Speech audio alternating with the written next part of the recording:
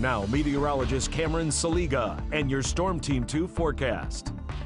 Sounds like great odds to me, but what, uh, as we go into the nighttime, are the odds for some showers? Well, they are likely. They are more one of one compared to one in 300 and whatever million that she just said. But as we look at your uh, temperatures starting off the day tomorrow, it's already going to be into the 60s early on, 61 degrees at 8 a.m. And then as we go through the daytime, we see those temps continuing to rise, but not too much, right around 63 degrees or so. We have chances of rain as we mainly go through the morning hours, but there could be some lighter showers as we go into the afternoon hours. Still seeing those cloudy skies as we go through your day tomorrow. In headlines, we have warm conditions outside tonight, but it's going to be also uh, brought in with heavy rain overnight and into your Tuesday morning. Rain possible as we go into the nighttime Tuesday, but then we back we cool back down to near normal as we go into the second half of the week. And the temperatures over the next 12 hours, they are going to stagnate right around uh, 57 to 59 degrees here into the Miami Valley. The one thing that is going to change, though, are those winds as that low nears closer and closer. We're going to go from the single digits to the teens as we go into those morning hours as that system continues to move northeastward. And we'll see those winds gusting tomorrow upwards of 35 miles per hour. Highs tomorrow getting up to 64 here into Dayton. Not much different from, from the north as we see that uh, as we will be in the warm sector of this uh, system going through the daytime tomorrow with those temperatures into the 60s area wide.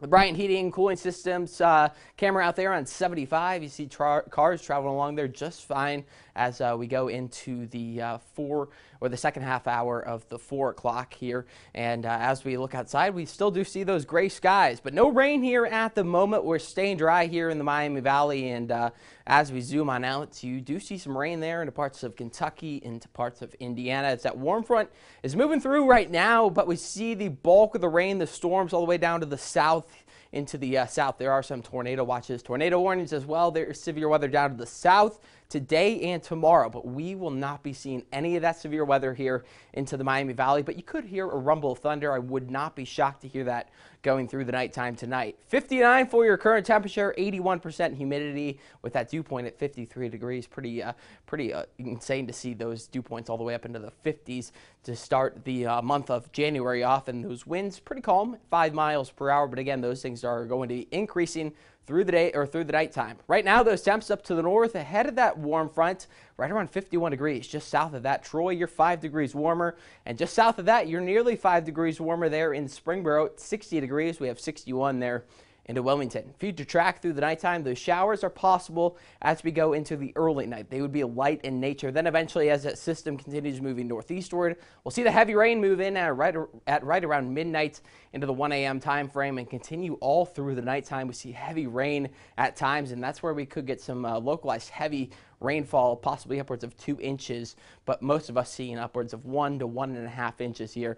But we do see a chance as we go into the nighttime on your uh, into your nighttime tomorrow, there is a slight chance of seeing some rain before we start to clear on out for the second half of the week. Now, this is the NAM model showing the amount of rainfall that we can see, upwards of one to one and a half inches here in Dayton. The further north you go, the less you will see. So you could see under an inch just uh, in those northern counties. Auglaize, Mercer, Logan counties could see the least of the rain. Now, as we look at your temperatures tonight, 57 degrees. We could have fog at times, but uh, not as bad as what we saw the recent nights. Showers heavy at times as well. Those winds up to 25 miles per hour. Tomorrow we get it up to 64, mainly in the morning time are those showers.